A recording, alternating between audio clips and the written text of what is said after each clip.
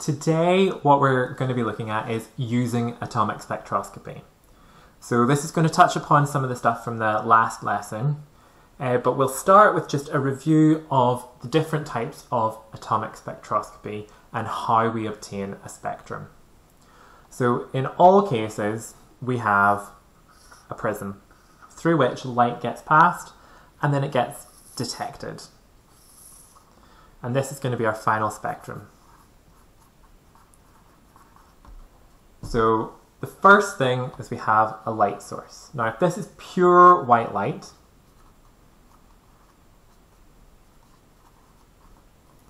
then what's going to happen is this is going to go through here, it's going to pass through the spectrum, and it's going to do that. It's going to spread out, and we will get a continuous continuous spectrum that goes from uh, red to violet, green in the middle. So we'll obtain something like that if we have white light. Now that's just going to happen, that's the basis for every experiment. And what we're going to do is look at absorption spectroscopy. So when we do absorption spectroscopy, what we do is we pass our white light, so we're still using a white light source, but we're going to pass it through usually something like a gas lamp. And a gas lamp is um, uh, just a container that contains gaseous atoms of an element.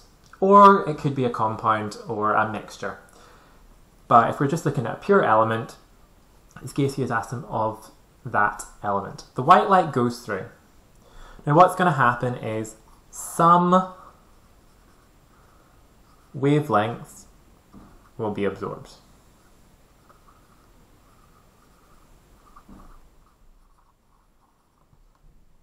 And this is absorption.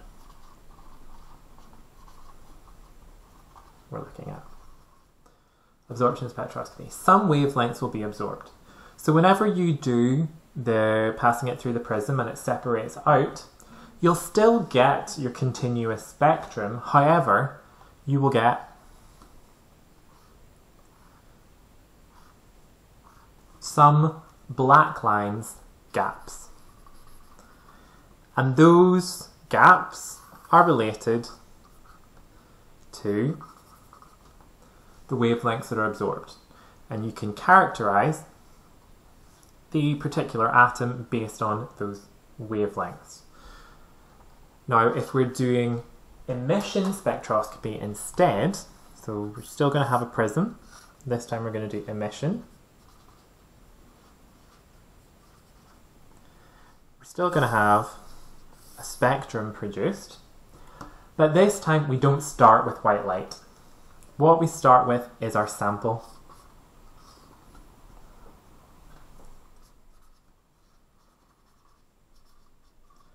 and we need to excite the sample. So we excite it so that the electrons get promoted to higher energy levels. And we can do that by heating it up. This is the most common way.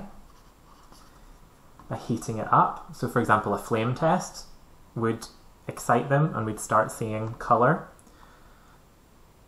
being emitted. Or it can be heating it using electricity. So if you generate a high resistance in a coil, it heats it up. And you can take it even so far where it's not just atoms, it's a plasma. And that's a, a more recent advance. But what you do is you excite them. You can heat, or you could use light. But heat is more common. This is the more common one. And it excites them, the electrons inside the sample, and as they fall back down, so they've gone up, as they fall back down to lower energy levels, only specific wavelengths are going to go through. And instead of getting a full spectrum, what you'll do is you'll get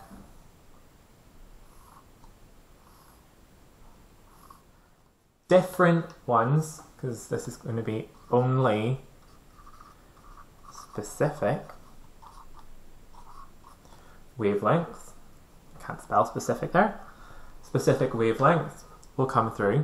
And for each one of those, you'll get a characteristic coloured band.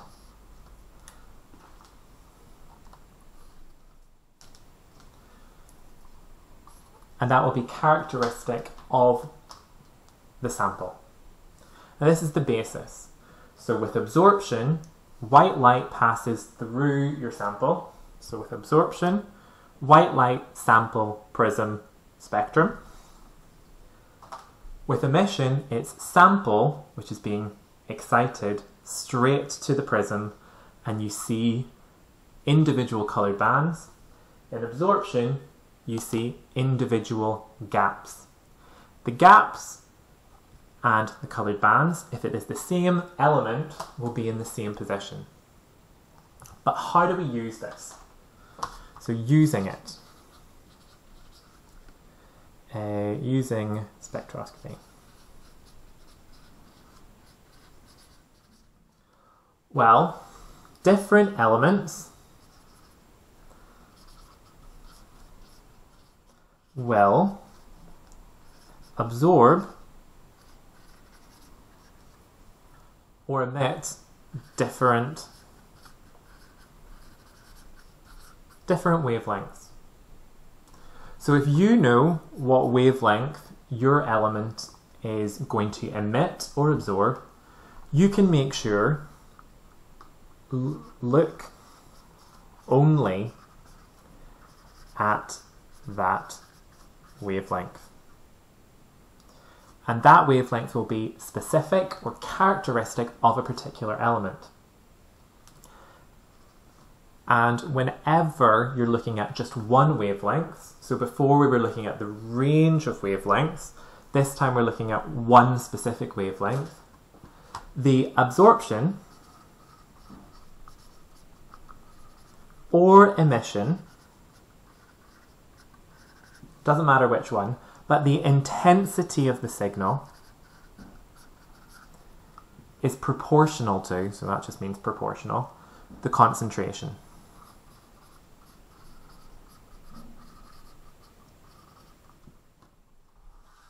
So that means the stronger the intensity of the wave of light or the beam of light that you get at that wavelength, the higher the concentration.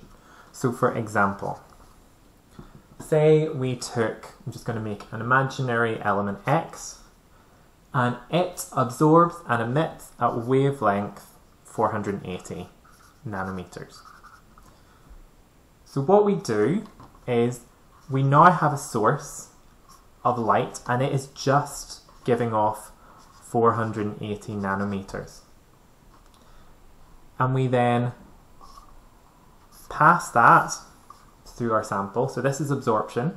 Pass that through our sample. And we don't need to collect a spectrum, we just detect the intensity. So how much of this light has been able to get through here? The more light that's been absorbed, the lower the intensity will be. Uh, now some machines will convert that and they will say the absorption intensity. The absorption intensity, you'd want that to be large and that means that a lot is absorbed. But if you're looking at how much has gone through the sample, the intensity will be low so it, it really depends in the context of the question. But you looking at one wavelength, passing it through your sample, and detecting how intense it is. And you can relate intensity to concentration. And it means that you can use absorption spectroscopy as a way of working out concentration. And this is something that's frequently done through techniques called colorimetry or um, absorption spectroscopy. It gets referred to in two different ways. So if we look at how we would do an experiment, how would we work out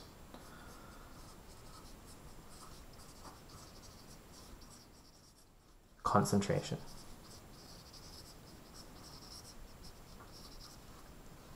So the first thing you need to do is you need to make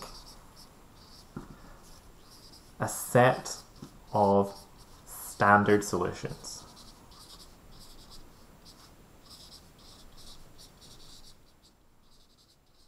Usually around five.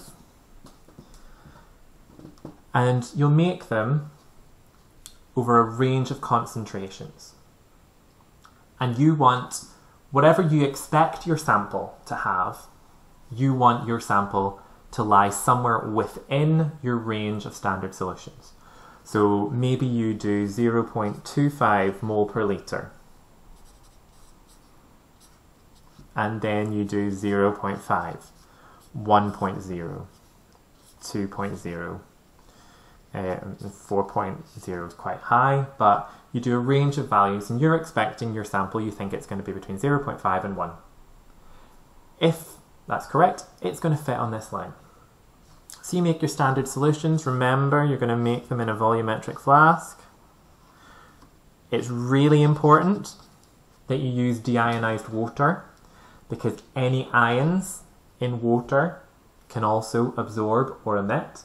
So you want it to be deionized water, so the only compound, the only chemical is your sample or your specific. And so you make the standard solutions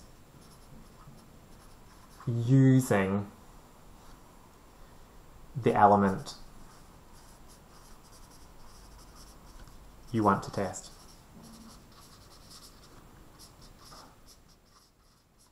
So if you have a mixture and it contains five different elements. say it contains hydrogen, oxygen, iron, chlorine, and copper.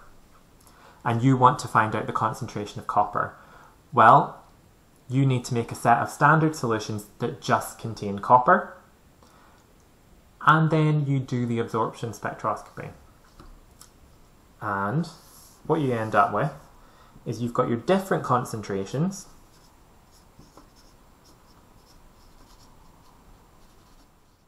along the bottom, and then you have your intensity, I. And what you'll find is that the lower the concentration,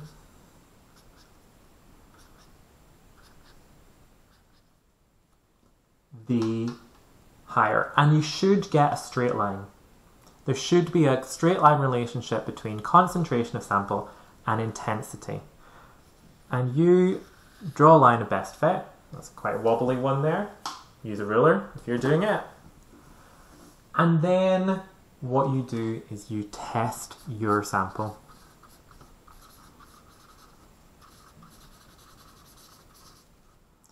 You test your sample and what you're looking for is the intensity.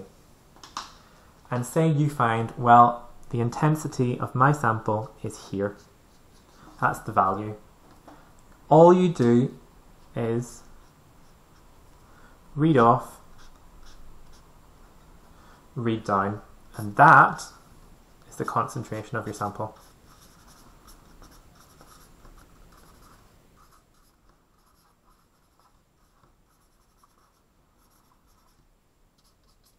And you can do that for every element inside a compound. That's one way to check if your compound's pure. It's one way to check whether or not you've made a solution correctly is by looking at its absorption spectroscopy.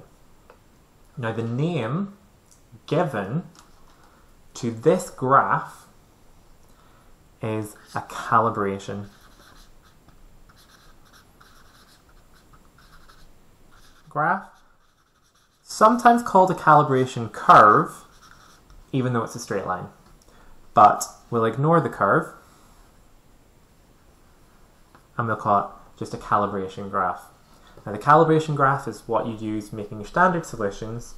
Then you test your sample and measure intensity of your sample, read across to your line of best fit, down, and you've got your concentration. This technique is something that you need to know. You need to know how to make a calibration graph or calibration curve. you might be asked to plot one. You will most likely be asked to read off a concentration from a calibration graph using an intensity. And maybe during your research project, you might want to use this technique in order to work out the concentration of sample that you've done, either to check its purity or as a way of just checking that you've made something correctly. So that was using atomic spectroscopy. So the key things to remember are atomic spectroscopy, absorption uses light passing through a sample, which is then separated. Emission spectroscopy excites the sample and the light comes from the sample. It is your light source, which then gets passed through and you see it. When you're wanting to use spectroscopy to work out uh, concentration, you no longer use a white light source. You use a particular wavelength and you pass that through and see how much is absorbed. Now, one thing I didn't say earlier with absorption spectroscopy is how do you know what wavelength to use? Now, you might know, however, what you can do is plot a graph where you have all the different wavelengths here. You do an absorption spectroscopy. So this is going to be your um, absorption. And you might get a graph that looks like that. It can be a whole load of shapes. But whatever the highest signal is on that for your sample or for your element, that is the wavelength that you choose to use whenever you're doing the absorption. So you do the whole spectrum and find what is the maximum value and you choose that value as the one to detect how much is absorbed. And then you use your calibration graph using a set of known or standard solutions to compare your sample to so that you can relate it to an exact concentration. That was an overview of calibration and atomic spectroscopy. Thank you for your attention.